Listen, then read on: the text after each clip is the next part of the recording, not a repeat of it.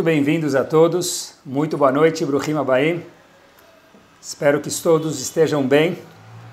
É um mérito poder receber vocês na minha casa, de coração aberto, com um sorriso. A gente, na verdade, eu queria falar para vocês que é incrível que cada tópico da nossa Torá do Chá, meus queridos, tem um mar de sabedoria, um mar de conhecimento e um mar de alegria que muda a pessoa. Eu acho que para alguém falar um shiur, ele primeiro precisa acreditar no que ele vai falar.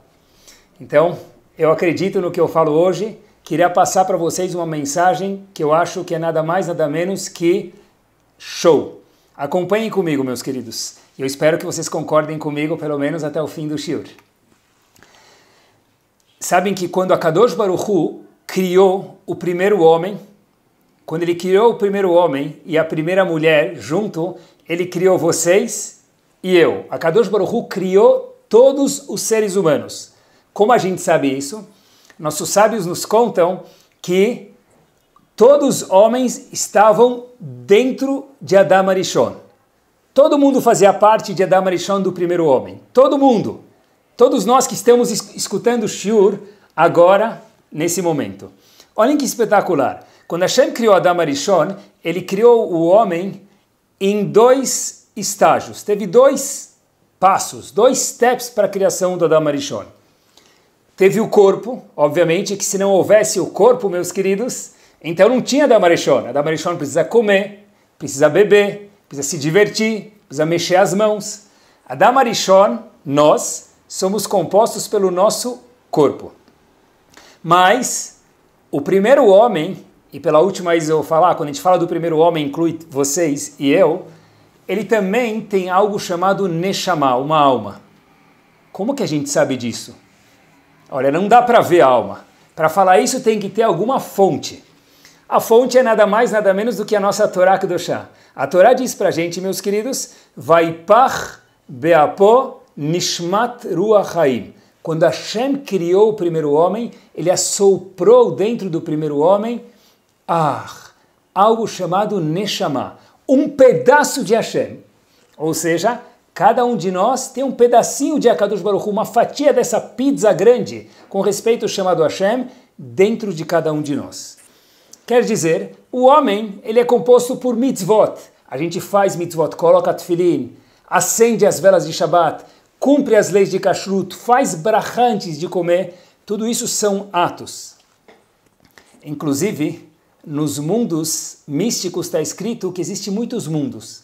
Um dos mundos que os livros de Mussar trazem, e é daí que eu sei, é chamado Olam Aasiya, o mundo do feito, do fazer, das ações. Isso tudo pertence ao corpo. Agora, olhem que curioso, meus queridos. É óbvio que tem também algo chamado Neshama. Neshama é a parte íntima que a gente mencionou, é o íntimo. E como que esse íntimo ele se expressa dentro de cada um de nós? E o que, que isso tem a ver com a gente no século 21? Já que o homem é formado por corpo e alma, Guf e Neshama em hebraico, então, meus queridos, como isso se representa dentro da gente, como se expressa no nosso cotidiano? Olhem que espetacular. Óbvio que só o corpo sem a alma não dura e nem vive. Só a alma sem o corpo é aquele que a gente chama judeu de coração. Isso já é coisa do passado, já é demodê isso aqui. Então a gente tem o corpo e a alma. Como que esse mix funciona? E o que, que isso tem a ver com a gente? Eu vou compartilhar com vocês uma dúvida que eu tive e a gente aborda ela durante o Shur. O último Basra, o último Shidur, o último match que teve dos avós, Avraham, Yitzhak e Yaakov, o último foi Yaakov, meus queridos. Yaakov, último dos avós, ele casou com duas das imaot, Rachel e Leah. Quando Yaakov foi casar com Rachel, uma das imaot, que é chamada Akeret Abayt, aquele mais gostava, aquele mais amava, está escrito o seguinte, primeiro encontro, do último dos avós. Câmeras, ação. Hoje em dia, melhor dizendo, Uma selfie, ok, tá bom. Então foi uma selfie. Imaginem só o momento da selfie de Yaakov, meus queridos, o último dos avós, se encontrando com Rachel, que é a mulher que ele mais sonhava. Ok. O que vocês acham que aconteceu lá na hora? Difícil imaginar quando se fala de um dos avós, um dos patriarcas que morava, único, no trono celestial divino. Havia uma imagem de Jacob no trono celestial divino. O que, que já podia acontecer naquele, naquela selfie do encontro do match do Basra de Jacob com sua esposa Rachel? Está escrito que vai Shak Yaakov le Rachel. Yaakov deu um beijo em Rachel. Vai sacolou. E de repente ele falou algo.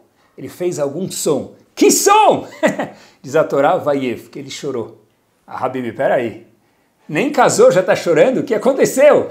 Não é isso, Yaakov. Por que, que Yaakov chorou? Rashi fica espantado por que, Yaakov chora logo ao se deparar com a futura esposa Rachel, que ele tanto sonhava com. Diz para a gente a Torá Kedoshá duas razões.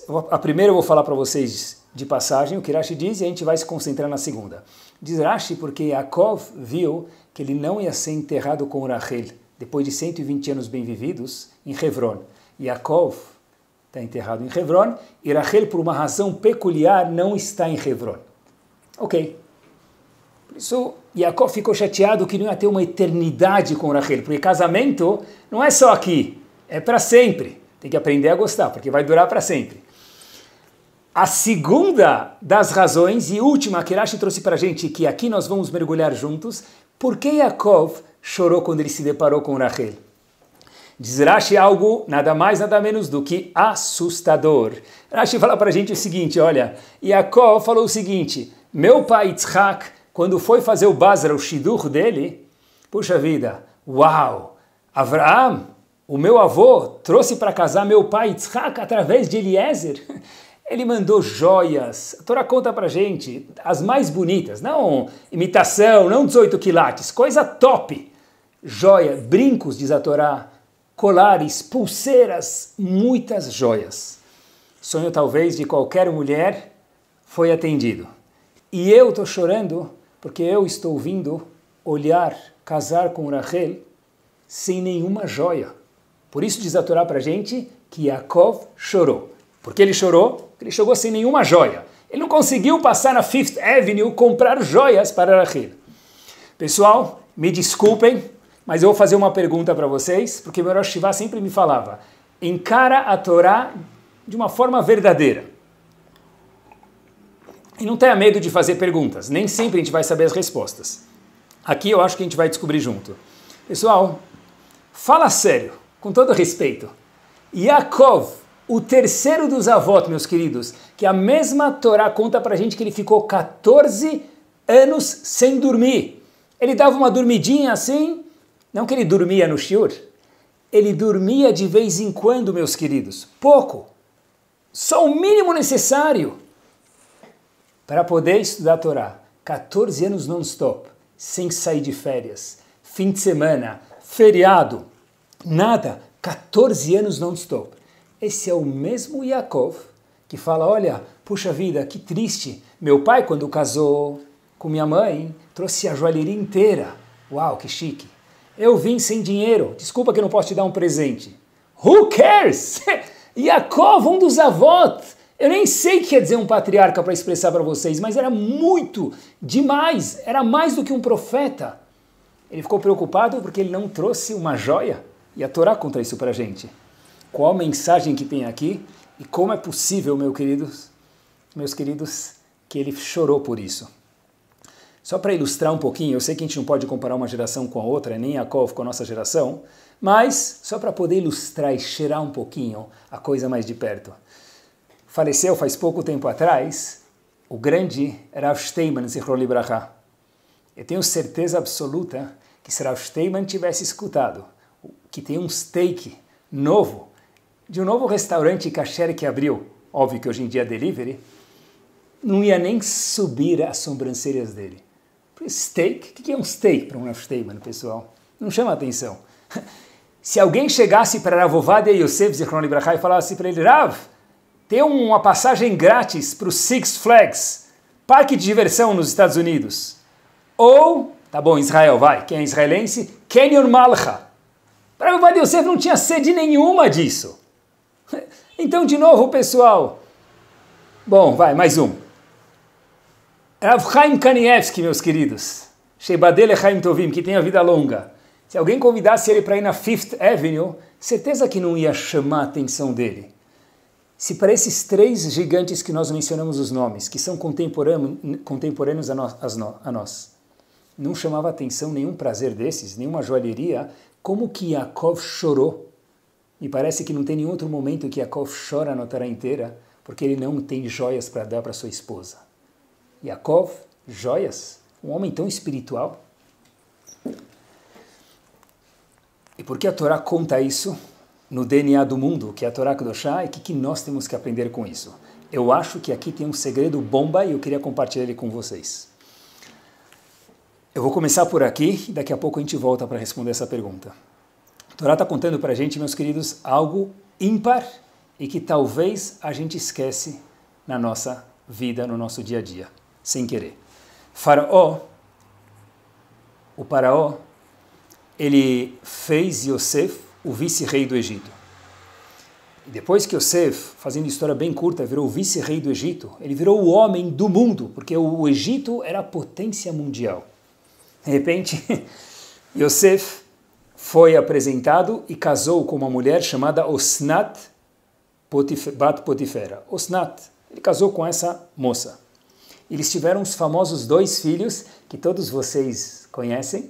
Quando alguém vai dar uma brachá sexta-feira à noite para os filhos, ele fala Isimecha Elohim Kefraim Vechim Menashe. Yosef teve dois filhos, Efraim e Menashe. Só que a Torá fala para a gente algo muito interessante. E acompanhe agora a linguagem da Torá. Vou ler poucas palavras em hebraico. O Yosef e Yosef. Yulad Shnebanim teve dois filhos. Quando? Beterem Tavo Shenat Araav. Quando ele teve dois filhos, antes da fome chegar no Egito. Porque a gente sabe que o Egito teve muitos anos de fome. Yosef teve dois filhos antes da fome. E óbvio que porque a Torá conta para a gente que ele teve dois filhos antes de haver fome no Egito. Diz Rashi Parashat Miketz, algo show, acompanhem comigo, segurem-se. Mikan, daqui nós aprendemos, diz Rashi, que a Torá falou que ele teve dois filhos antes de haver fome no Egito. Sheadam Asur, Leshamesh Mitato Beshneravon. O homem não pode ter relações com sua, sua esposa no momento de aflição no mundo, no momento de fome, no momento que o mundo está desesperado. Então, por isso que a Torá conta pra gente. Opa, só um segundo. Yosef teve dois filhos que a gente menciona toda sexta-feira à noite, Efraim e Menashe. Attention, please. Quando? Antes de haver fome. Porque depois que houve fome no Egito, durante todo esse período, Yosef foi sensível e não teve proximidade física com sua esposa. Um dos comentaristas na Torá Kedoshá, chamado Balaturim, e é curioso notar que o Balaturim escreveu o comentário inteiro dele em uma só noite. Balaturim, ele foi filho do Rosh, ele viveu no ano de 1300. Ele fala o seguinte, olha, a palavra, as palavras mencionadas, meus queridos, que falaram que Yosef teve dois filhos antes da fome, é Ul Yosef. Em português, nós diríamos I Yosef, teve dois filhos, Efraim e Menashe ela só aparece na Torá inteira, e só o Balturim para falar isso, aqui e mais uma vez. Qual é a outra vez que aparece isso? A segunda vez que aparece isso, acompanhem comigo, diz o Balturim, o Yosef Amar, leitura de Simchat Torah, e para Yosef foi dito, Mevorechet Arzo, você vai ganhar Yosef das doze tribos, o lugar mais fértil, mais gostoso, mais bomba de Israel. O lugar que tinha a parte econômica mais desenvolvida de Israel foi para Yosef. E é o mesmo termo que é usado, diz o Balturim. Ul Yosef, e para Yosef. Então acompanhem comigo, diz o Balturim, dois lugares que aparece a palavra Ul Yosef, e para Yosef na Torá inteira. Um lugar é quando conta que ele teve os filhos Efraim e Menashe, antes da fome, e o segundo é quando conta para gente que, que Yosef teve de terreno, de fartura, a tribo com terreno mais fértil em todo Israel. Por que, que Yosef ganhou isso? Está ensinando o Balturim para gente. Por que ele teve o lugar mais fértil? As ações que mais subiam na bolsa. Ele investiu na moeda mais forte e não perdeu nada. O que, que Yosef fez para ganhar isso? Diz o Balturim para gente. Habib, se você quiser saber qual o segredo de Yosef, qual o segredo master de Yosef, para o século 21 também. Qual que é? Dois psukim. Um está relacionado com o outro. O Yosef, e Yosef teve o lugar mais fértil, por quê? Já que ele foi sensível à situação, e a palavra sensível é importante no show de hoje, e não teve relações com sua senhora durante os anos de fome no Egito. Yosef não falou, eu não estou nem aí. Você está morando no Egito, na Casa Branca, na mesa central em Washington, preocupado com o quê? Com fome? Ele tinha armazenado comida para anos e anos. A comida sobrou, como a gente sabe a história. Por que Yosef estava preocupado? Yosef ensinou para a gente o seguinte, olha, não existe eu estou bem. Uma pessoa que é sensível àqueles que moram em volta dele está bem. Não existe eu estou bem enquanto outros ao meu redor não estão bem. E para isso tem que ter algo chamado sensibilidade, sentidos, emoções. A Neshama pessoa.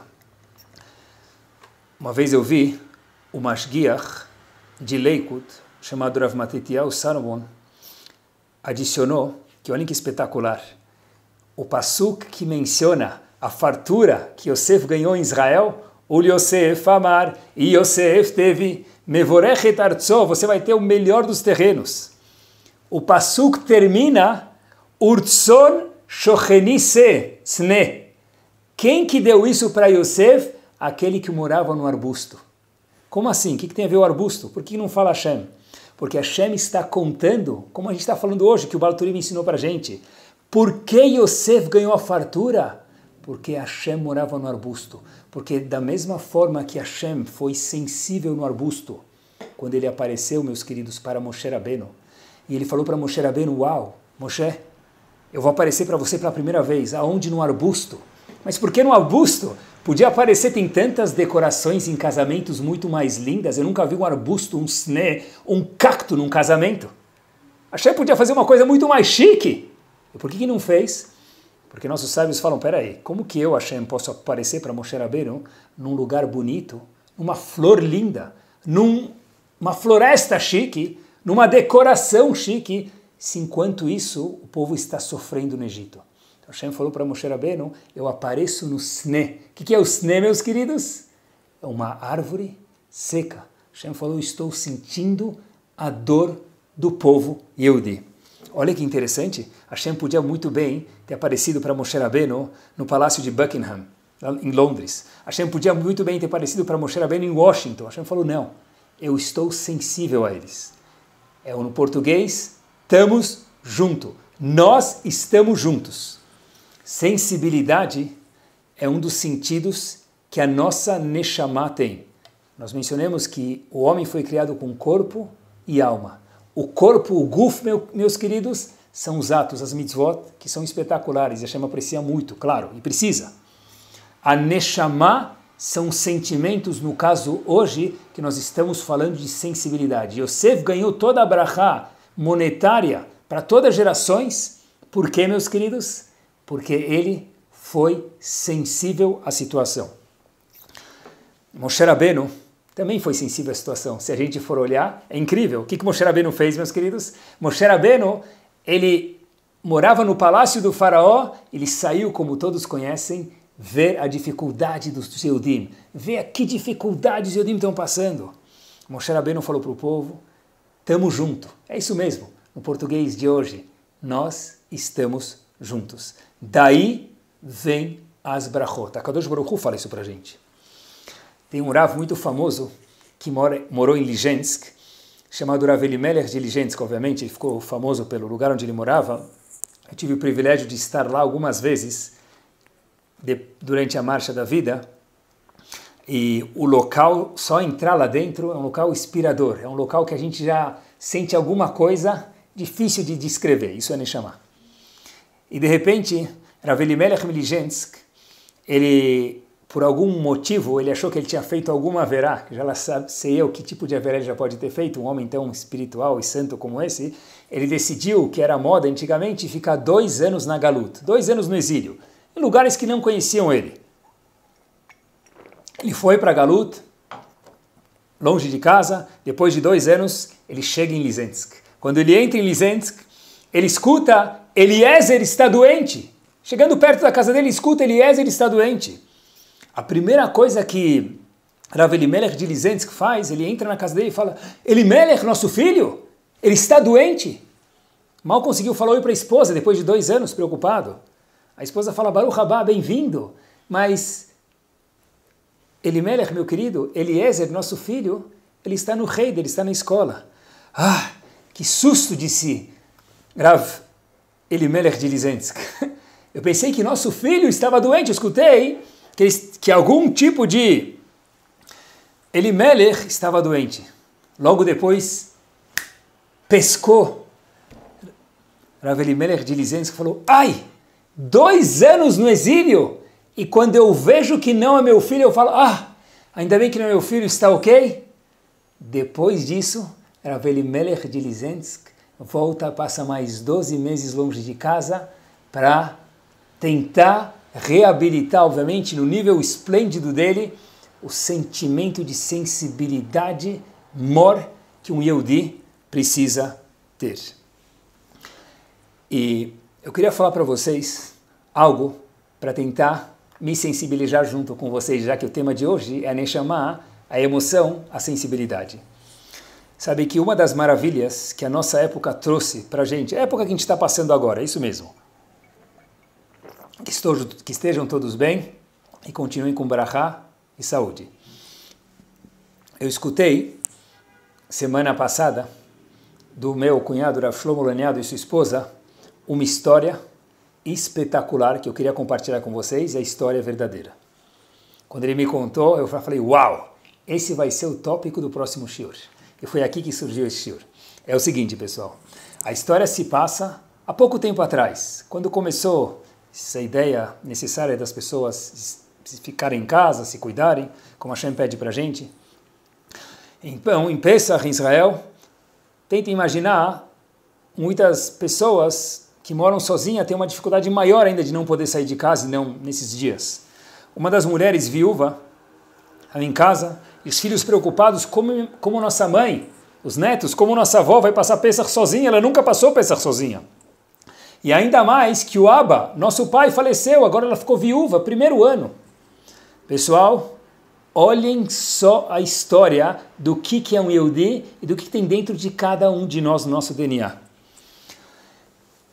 Os vizinhos da, da casa da frente, era dois por andar, o prédio, falam para essa senhora, olha, será que a senhora não quer abrir a porta? A gente ainda fica de uma forma segura, nós fazemos o ceder na frente, a senhora escuta o ceder, e dessa forma a senhora vai poder passar um Pesach um pouco mais tranquilo. Essa senhora ficou tão feliz, falou, claro. Ela abriu, ela escutou o ceder de Pesach e foi algo bárbaro. Os filhos muito preocupados moravam longe. Depois de 25 horas de Yom Tov, lá em, lá em Israel é um dia só, ligam para a mãe, os netos ligam para a avó e fazem a pergunta, avó, como você passou Pesach? Foi muito difícil? A avó diz, a mãe diz, para os netos e para os filhos, para os filhos, difícil. Eu nunca tive um Pesach tão bom na minha vida, eu nunca imaginava que ia ser assim. Aí eles perguntaram, mas o que aconteceu? Falou, oh, você não sabe, vó. Você não sabe, meus filhos, disse a senhora para os filhos e para os netos. Eles fizeram o ceder de Pesach, eles fazem no mesmo Nusach, no mesmo dialeto, com as mesmas músicas que o Abba, meu marido, fazia. Meus queridos, olhem só o brilhante da história falando em joias. O filho dessa senhora conta para os outros o seguinte: agora eu entendi uma coisa. Os vizinhos da Ima, da nossa mãe, ligaram para a gente antes de Pesach, pouco tempo antes de Pesach, pediram para a gente fazer uma gravação do Seder de Pesach. Como? Como eles têm costume de fazer. Eles escutaram a gravação lembraram a gravação e fizeram o ceder de Pesach da mesma forma que se fazia na casa deles, para que quando aquela senhora abrisse a porta da forma mais natural do mundo, como se fosse a coisa mais tranquilex do mundo, escutasse o cedo de Pesach, olha que surpresa! Eles fazem igual a gente. Minha senhora, digamos nós entre parênteses, eles não fazem igual a gente. Eles aprenderam a fazer igual a gente para share, para compartilhar do sentimento. Pessoal, olhem que gênio! Isso é sensibilidade par excellence. É estar antenado com quem está aos nossos lados. É estar 4G com quem está aos nossos lados. É conexão ilimitada. E escutem só essa. Essa história não está em nenhum livro. Eu escutei first hand, só não tenho a permissão de contar o nome. Mas a história não é 100% verdadeira, ela é 200% verdadeira, se é que existe isso. Uma moça, esposa de um avrech, que mora em Israel, Baruch Hashem tem muitos, esforçados, estava grávida, e a história já faz alguns meses, e ela pensa em comunicar o emprego, porque quando alguém está grávido, ele pode já comunicar o emprego, daqui tantos meses, daqui seis, sete, oito meses, a pessoa vai, tem que se desligar por alguns meses de licença maternidade. Então, para ajudar o emprego a se replanejar, a companhia a se replanejar onde ela trabalhava. Essa senhora falou, olha, vamos esperar um pouco para o marido. Mas o marido sempre falava para ela, mas conta, a gente precisa contar. As pessoas falam para ela, conta, a empresa vai ser prejudicada. prejudicada. Ele falou, vamos esperar um pouquinho. Ela e o marido decidiram esperar um pouquinho. Por que eles esperaram um pouquinho, pessoal? Porque a dona da empresa e o dono da empresa estão casados há muito tempo e não têm filhos. Escutem só essa. Então disse essa senhora jovem e esse marido falam o seguinte: que, que adianta esperar mais um pouco? Nós estamos fazendo tefilá, rezando para que talvez Deus também dê uma boa notícia para ela. E quando a dona da empresa vier me contar que ela tem uma boa notícia, eu vou poder contar, falar eu também. Eu não quero contar que eu já estou tendo o meu terceiro filho ou filho que for, quando ela está casada há alguns anos sem ter filhos. Uau! Quando eu escutei essa história, eu falei, não pode ser verdade. Eu liguei para confirmar e eu perguntei para essa senhora, a história é verdadeira? Ela falou sim. E o mais brilhante de tudo se é que o que até agora não foi brilhante, foi o seguinte: essa moça, esse açúcar de pessoa, falou o seguinte: qual é a grandeza disso tudo? Não é algo pachut? Não é algo óbvio? Não é algo normal? Alguém ter a sensibilidade de não contar para outra pessoa que ela está grávida enquanto não precisa? No momento que a pessoa que vai ouvir vai ficar um pouquinho magoada porque ela ainda não teve o mérito de ter filhos? Uau, não é pachut? Puxa vida. Tomara que depois do shir de hoje, estou falando comigo mesmo, se torne pachut. Ashrechem Israel. Que lindo é esse povo que acha que a coisa mais linda do mundo é algo pachut, é algo óbvio, é algo given, pessoal. Eu fiquei pensando comigo mesmo, é, se aquela moça, aquela senhora refinada, não contou que até o último momento que ela estava grávida para talvez, sem querer, indiretamente, claro, ofender alguém, mesmo que precisava muito contar, eu acho que nós, no século 21, temos abrahado a tecnologia, mas acho que leva algo a se resguardar.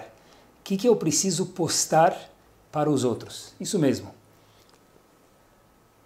Eu costumo dizer que as fotos da família da pessoa não precisam ser o perfil de WhatsApp dele. É proibido? Não. Quem sou eu para falar o que é proibido? Mas talvez chega a ser sem querer, repito, sem querer, insensível. Porque nos nossos contatos, meus queridos, tem muita gente, Baruch Hashem, que a gente tenha mais amigos cada vez, e que se ele se junte cada vez mais. Mas tem gente que talvez não tenha brachá de ter filhos tão saudáveis, de ter filhos bichlal, e por que precisam ver? Mas eu não estou fazendo isso para machucar alguém. O senhor de hoje ensina a gente de Yosef, isso mesmo. Dessas duas histórias do Cedro de Pesach, dessa senhora, não existe eu não quero ofender alguém. Se eu não quero ofender alguém, eu preciso me resguardar ao máximo dentro do que é normal. Eu não sei se eu preciso postar as fotos de quando eu viajei para Miami, quando eu viajei. Sartén, se a pessoa tem usufrua com saúde até pelo menos 120 anos. Mas precisa contar para todo mundo? Não. Postar no Insta, postar no Face, postar no, na minha foto de WhatsApp, talvez, meus queridos, seja de uma forma indireta contar para todo mundo. E talvez vale um double check aqui de quanto sensível ou contrário eu estou sendo. Sabe, quando estava preparando o shiur, eu lembrei de um passuk, tem um passuk que menciona a abundância que Hashem dá para gente. Financeira, saúde, filhos, saúde, comunidade, tudo isso é uma brachá. Cada um desses é uma brachá. Está escrito no passuk, talvez conhecido por muitos de nós, que birkat Hashem Elokecha, a brachá de Hashem, e olhem só o fim do passuk, não vejo isso escrito, mas vou me aventurar a falar para vocês. Está escrito no fim do passuk, Asher Natan Lach, que Deus te deu. Óbvio que Deus te deu. Está falando da brachá sua, é óbvio que Deus te deu. Eu acho que talvez o passuk está vindo ensinar para a gente no contexto do shur de hoje, Birkat Hashem Elokecha, a brachá que você tem, Habibi. Dinheiro, afluência, filhos, saúde, que tenha cada vez mais. Mas não esqueça, é Asher Natan Lach, que fique isso com você e não exposto, e não mostrando as nossas brachot não tem que ser vitrine. É melhor se cuidar de não mostrar e não precisa colocar hamse nos carros, não precisa colocar 18, 55, olho gordo, pode colocar quem quiser. Não, não há proibição.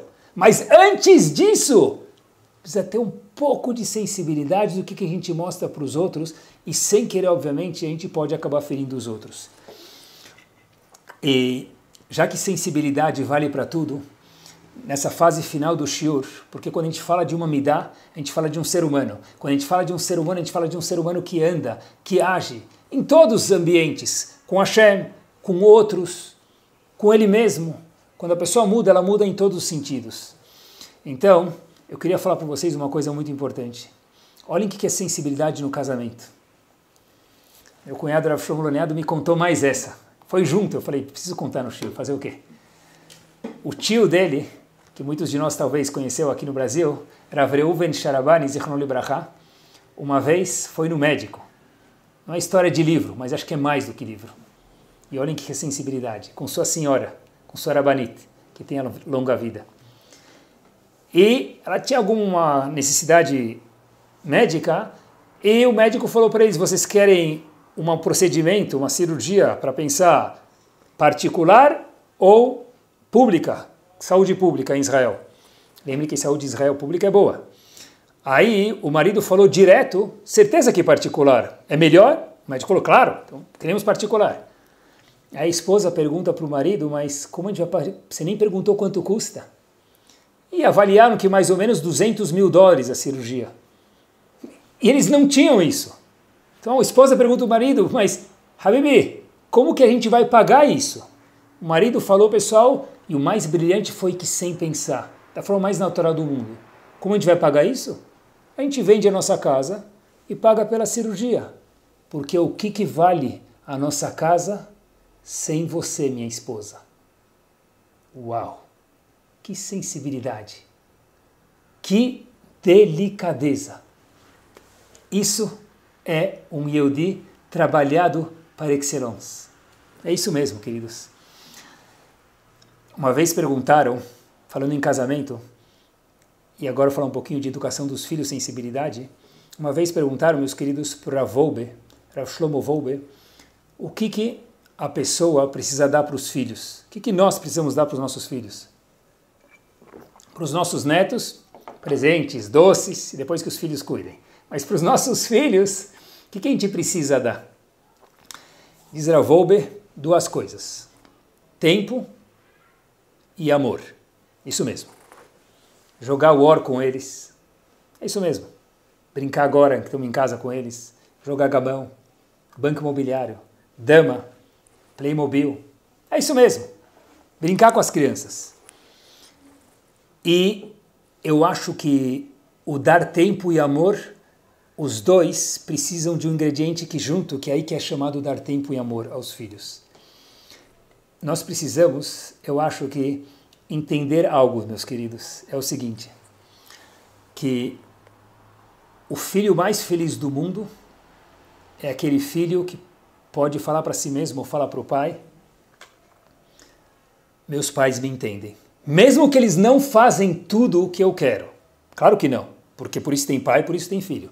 Mas meus pais me entendem. O Yehudi mais feliz do mundo é aquele que fala: Hashem me entende. O congregante do Knis, da sinagoga do Shil mais feliz do mundo, é aquele que fala: Meu Rav me entende, mesmo que nem sempre ele concorda comigo. E pessoal, o mais triste de todo é quando fala: O meu pai não me entende, minha mãe não me entende, meu Rav não entende, a Kadosh Baruchu não me entende. Eles são não sensíveis aos meus sentimentos. Sentimentos com todo mundo, pessoal, com os filhos, com a esposa. E para a pessoa sentir os outros, que é a Neshama, nós precisamos primeiro estar em touch, em contato, sensíveis, meus queridos, a nossa Neshama. Isso mesmo, meus queridos. Para que nós possamos sentir os outros, ser sensível ao sentimento dos outros, nós precisamos compreender que nós temos que ter os sentidos próprios. Uma pessoa que não sabe que ele está brava, uma pessoa que não sabe que ele está feliz, uma pessoa que não percebe que ele está agitado demais ou até calmo demais. Você está feliz? Nem percebi. Está bravo? Eu não! Eu nem percebi. Como que eu sou capaz de entender os sentimentos de alguém que mora ao meu redor, mais perto ou mais longe? Qualquer pessoa, meus queridos, se eu não sei o que é sentimento. Sim, nós moramos no que é chamado Olam Asiyah, o mundo do fazer de fazer, de dar tzedakah, de fazer mitzvot, é verdade. Mas e o sentimento que vem por trás disso? E a sensibilidade, meus queridos, que vem por trás disso, que a Kadosh Baruch Hu espera de cada um de nós, que ela seja cada vez um pouquinho mais afinada. A coisa mais gostosa do mundo é quando uma mãe chega para um filho, obviamente que de uma forma certa, no momento correto, de um jeito delicado. Por que você está chateado, meu filho? Quer dizer que a mãe sintonizou no canal certo que o filho está chateado. Quando o marido percebe que sua esposa, no momento certo para falar isso, obviamente, está cansada, está chateada. Quando a esposa percebe que o marido está ou feliz também. Agora, pessoal, que casamento que é esse? Que casa que é essa que moram pessoas na mesma corporação, entre aspas, chamadas casa, que ninguém consegue perceber nada do outro? Eu acho que talvez isso responde uma pergunta muito forte, que é a seguinte. Às vezes as pessoas falam, essa pergunta que me vem eco na cabeça, porque até hoje, como vocês sabem, eu nunca saí de escola. Meu sonho é sair de escola, até hoje eu moro dentro da escola Baruch Hashem, que é um privilégio, ainda mais onde eu trabalho na escola Betekov hoje, que eu amo. Olhem que espetacular. Às vezes a gente escuta pessoas falando no mundo, e é normal, por que, que meus filhos não conversam comigo? Eu acho que uma das razões, talvez foi isso que Ravolbe disse, eu preciso dar tempo e amor para os filhos, é tempo de verdade, amor de verdade. Não quer dizer uma hora, pode ser 15 minutos por semana, mas são 15 minutos que eu sei o que você está falando, que eu estou olhando para você, eu estou sentindo você. Pessoal, quando a gente vai num Rav, uau, você não sabe, aquele Rav, eu entrei, ele olhou para minha cara e ele já falou, eu estou vendo que você está preocupado. Como ele sabe disso? Como ele sabe disso, eu não sei. Mas o que isso se chama é sensibilidade. Porque quanto mais nós trabalhamos os nossos sentimentos e nós nos sentimos, a gente consegue sentir os outros. Pessoal, quem pesa carne, quando for segurar uma joia, não vai conseguir pesar uma joia. Porque carne, sem desprezar quem trabalha no açougue, ela pesa por quilo. Porém, quem trabalha com joia pesa gramas. Se a gente pegar alguém que trabalha com joia na mão dele, ele já sabe mais ou menos quantas gramas tem. É desenvolver essa sensibilidade conosco, meus queridos, isso transborda também para os outros. Coisa mais gostosa do mundo, que é Hinur, é poder sentir quem são os nossos filhos. E nossos filhos falaram, uau, meu pai me entendeu. Não precisa concordar sempre. Não, não faça isso, é um crime. Ponha limites, mas entenda primeiro. Nunca fala não direto. Porque quem fala não direto está falando o quê? Quando eu falo não direto, o que eu estou falando, pessoal? Não, nem te escutei. Escuta, pensa e responde não. Uau, ele me entendeu. meu patrão entendeu. Que delícia ser um funcionário que o patrão te entende. Um marido que a esposa te entende, uma esposa que o marido te entende, um filho que os pais entendem e, obviamente, talvez, se for possível, também vice-versa. Eu vi uma frase muito bonita que resume o que a gente está falando hoje, que ninguém se torna completamente humano sem sentir dor. Vou repetir. Ninguém se torna completamente humano sem sentir dor. Porque uma das características de nós, Eudim, seres humanos, é sentir dor e alegria também, é ter sentimentos e sensibilidade. Começa aqui dentro. Se eu entendo os meus, facílimo detectar nos outros. Eu vou terminar, Bezat Hashem, queridos, com uma história e a gente volta a responder a pergunta feita no começo do shiur e finaliza com chave de ouro. É o seguinte: em tudo tem que ser sensível. Até na hora de um castigo, sensibilidade faz a diferença. Minha filha, Lea, me contou a seguinte história. Que mora em Israel, ela estava num curso de Hinur e uma das pessoas que dá esse curso, ministra o curso, contou, obviamente, de uma pessoa de lá, sem mencionar o nome, mas a história é 100% verdadeira de novo. Todos pais saudáveis e inteligentes, espero que todos, no século 21, com sabedoria, sem abusar, impõe limite nos seus filhos. Tem que, porque eles querem isso de, de verdade, os filhos. E um casal em Israel falou para a filha algumas vezes, olha, tem limite para voltar para casa, 11 da noite, 11 e meia, depende da ocasião, e aí vai. Uma das vezes, o pai falou para a menina, falou, olha, eu estou vendo que você está passando do horário, quero te lembrar que hoje o limite é 11 e 30 da noite. Depois disso, você não vai poder entrar em casa. A menina chega atrasada e ela bate na porta. E ninguém abre. A menina vê todas as luzes da casa desligadas e ela bate de novo na porta e ninguém abre. A menina liga para casa, deixa tocar o telefone e ninguém abre. De repente ela vai até a porta e fala as seguintes palavras: Abaíma, eu sei que vocês estão aí. Por favor, não me ignorem e abram a porta. Eu não vou dormir na rua. Vocês vão deixar eu dormir do lado de fora de casa? Pessoal, naquele momento, a menina continua batendo na porta. Demorou mais um minuto e meio. Esse minuto e meio dela bater na porta foi o tempo do pai dela fazer um choco para ela, colocar no micro-ondas e esquentar.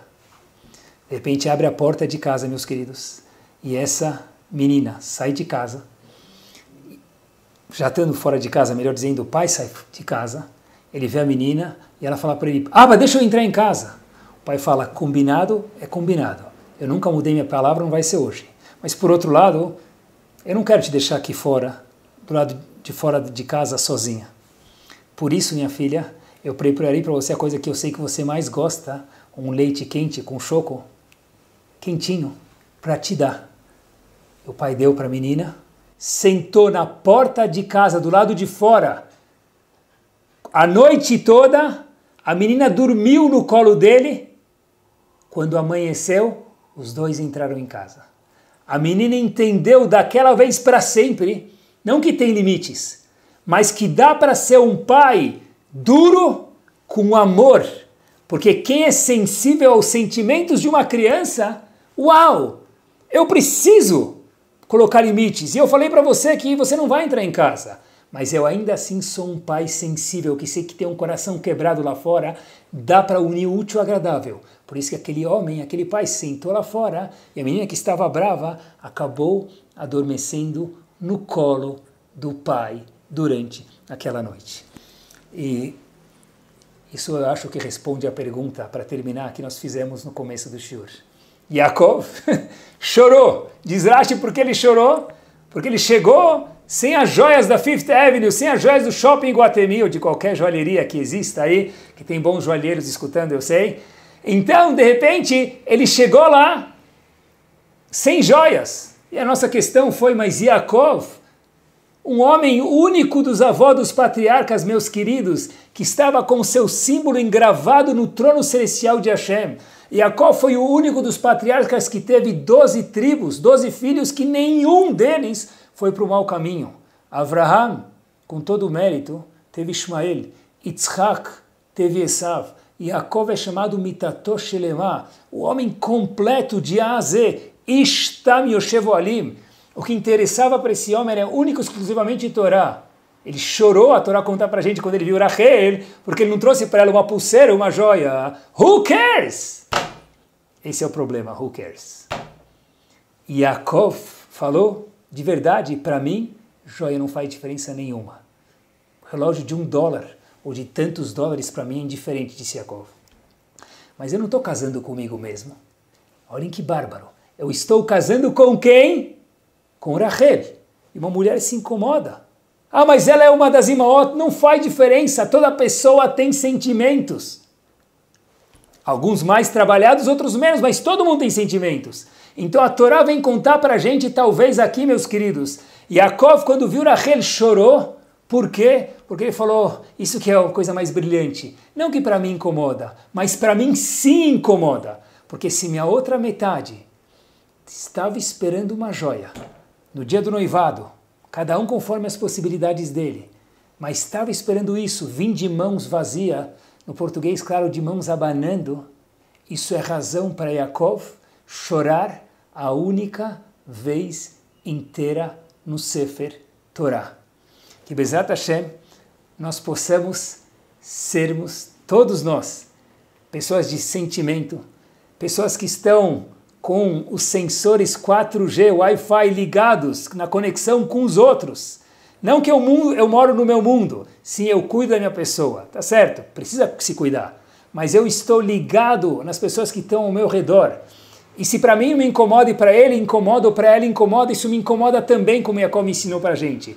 E a pessoa que entende, meus queridos, o seu sentimento consegue ser sensível aos outros. Sortudo é o pai que entende os filhos, os filhos que é entendido pelo pai e pela mãe. Sortudo é o marido que sua esposa se entende, entende ele e vice-versa. Sortudo é o patrão que seu funcionário o entende, sortudo demais é o funcionário que tem um patrão, uma empresa que ele entende. O mais importante de tudo é que a Kadosh Baruch que é o maior, sempre nos entendeu, sempre foi sensível a cada um de nós e sempre nos entenderá. Muito boa noite a todos, que Bezat Hashem todos tenham muita saúde, muita brachá, muita sensibilidade para compartilhar somente alegrias daqueles que moram ao nosso redor. Amém. Kemi